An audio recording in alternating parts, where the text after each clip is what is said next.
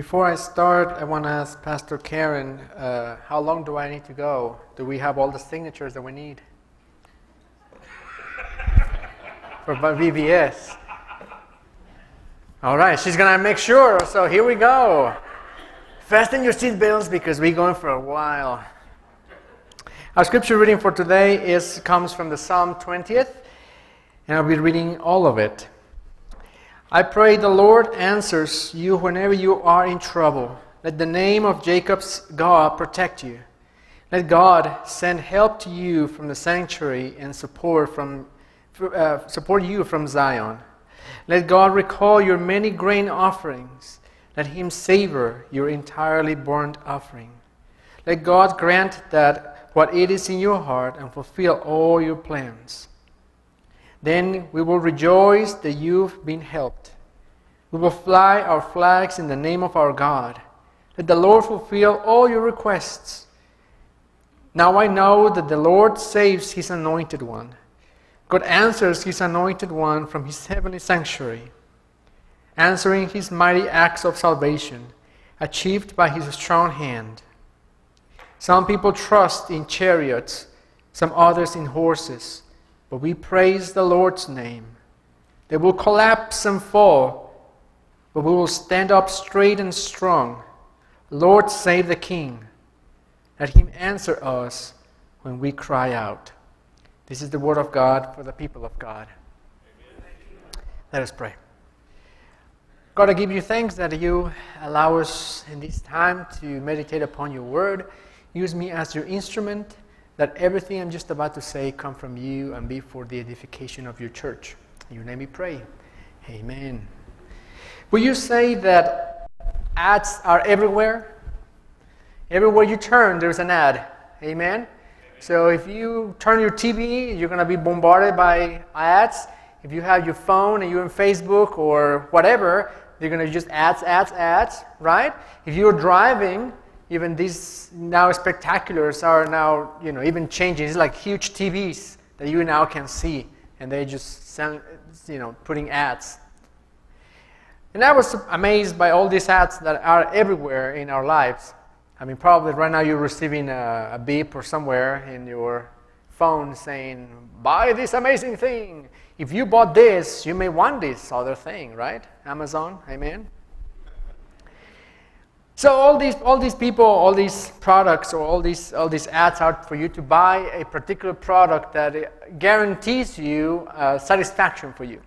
And not only that, but a lot of them are that you can deposit your trust in that particular product, right? So let us put the first, the first uh, image there. So, you know, toiletries. So, right, you can, you can find shampoos that you trust that they're going to make your hair grow, or they're going to make your hair shiny, or blonde, or dark, whatever. You can trust that they're going to do that. You have the best razor or the, the, best, the best smell, right? Next slide. You can, uh, well, those are the transformers, of course, but cars, they're selling you cars, and they say you can trust this car because this has the best safety features. You will not happen anything to you because this car is the best car we have built and you can trust us. Next slide. Any bank will say you can trust us to put your money here, invest here, and we're going to give you a lot of money back, uh, little interest. And, uh, but you can trust that we're going to take care of your money and your funds and retirement and on and on and on. Next, next slide. And of course, that, oh, this kind of looks, anyway, that's my mistake. Anyway, but insurance companies, right? You can trust that they're going to take care of you as long as you don't see the small print in there and, you know, you have to pay your deductible. But they will take care of you. All right? So Geico can save you money. Allstate is going to be with you at all times, right? You can trust. You can trust them. So I have a little jingle for you to uh, get into your brains. Have you tried one? Have you tried one of these? It's so good. Man, I can't believe we haven't done this before. Oh wow, look at that! Want a bite? You're aging. Do the jingle. Do the jingle. Like a good neighbor, State Farm is there. Hey guys. Buffalo! Uh, do it again. Do it again. Like a good neighbor, State Farm is there. in my office. State Farm. I think we're good. State Farm agents are there when you need them. Wherever you need them, they're gonna be there. You can trust. You can just do the jingle and say, like in State Farm, take me out of here to stop listening to Carlos, and you're gonna take you out of here. Now, there is nothing wrong with uh, trusting in toiletries and shampoos that are gonna make you smell good. Thanks be to God for that. especially when we're in close encounters. Thanks, to, praise be to God for shampoos and soaps and everything. There's nothing wrong to buy a car that it is good in safety features. There's nothing wrong with that. There's nothing wrong to try to find a bank that gives you good rates and uh, takes care of your funds. There's nothing wrong with that.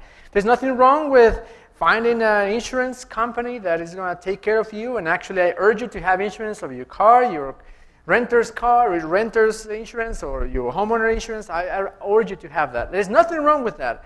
But the problem is, is when we fall into this notion that if we only have these things, everything is going to be fine.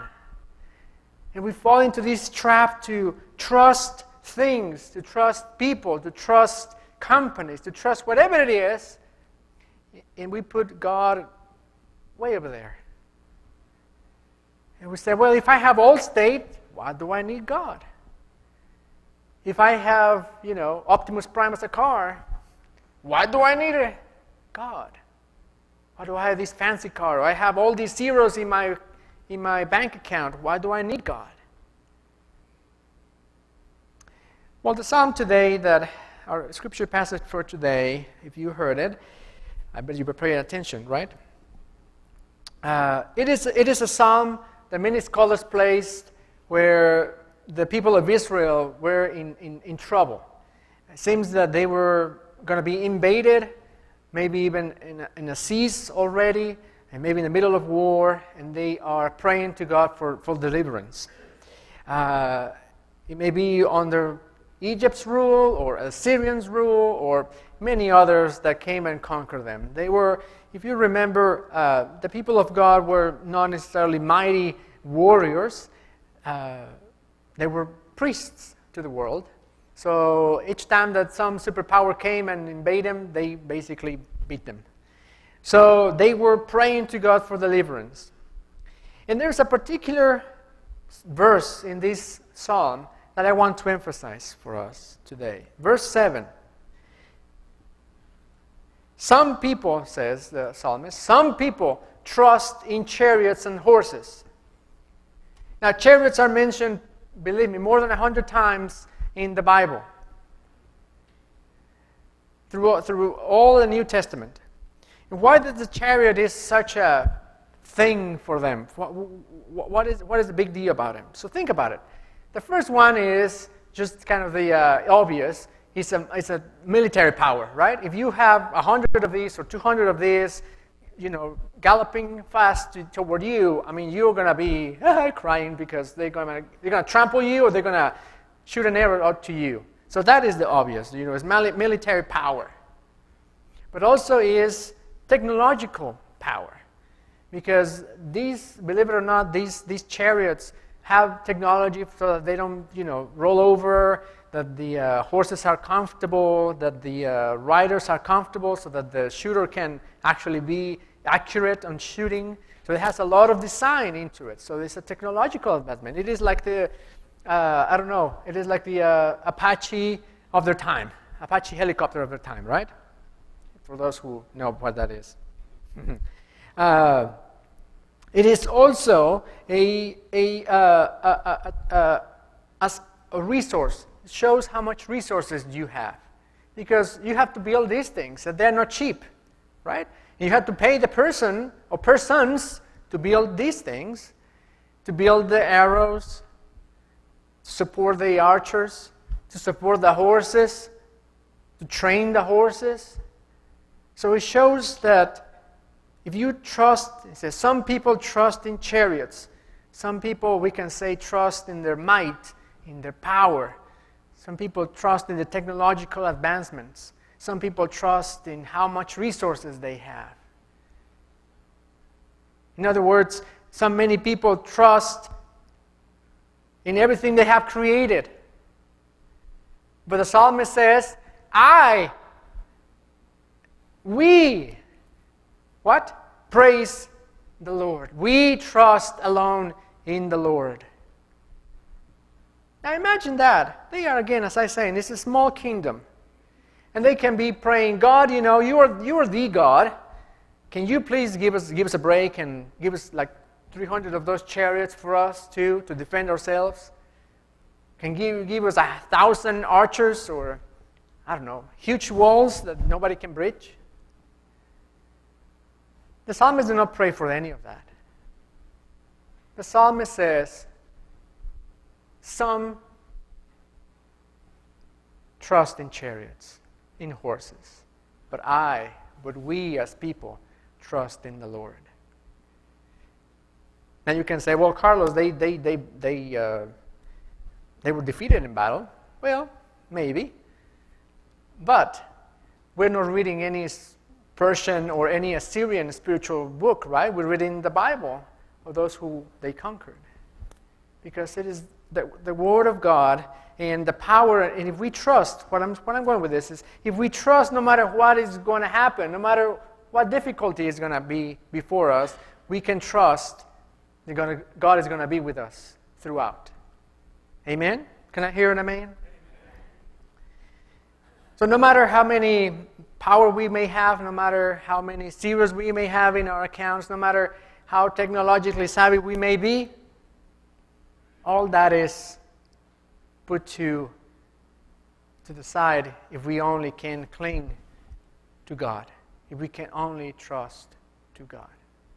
Now, this word trust is kind of interesting, and I think God had a, a plan on that. The word in Hebrew means, yes, trust, faith,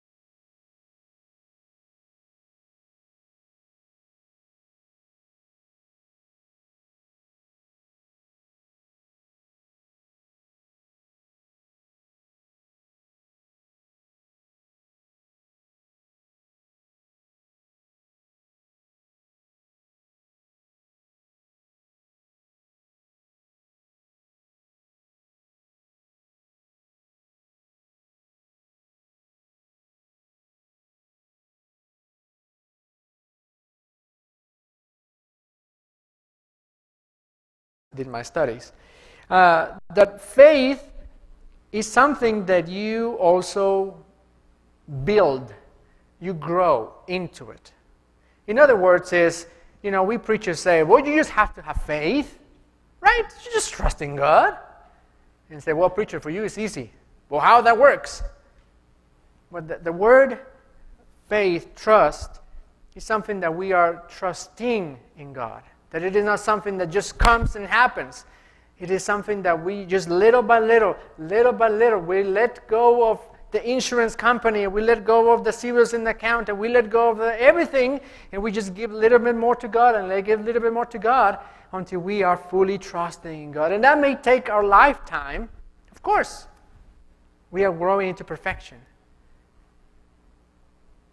So we don't, if we do not trust fully, we don't have to be, feel shame. We just have to work at it, like anything else. Like anything else.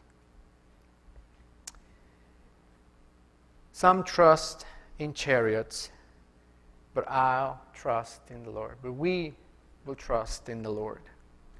So I have some homework for you today, this, this, this, this week. All right? Who, who is up for homework? Amen? All right. So this week I would like to, I will invite you to meditate upon, to think about the chariots in your life, in our lives. Which things we don't just don't let go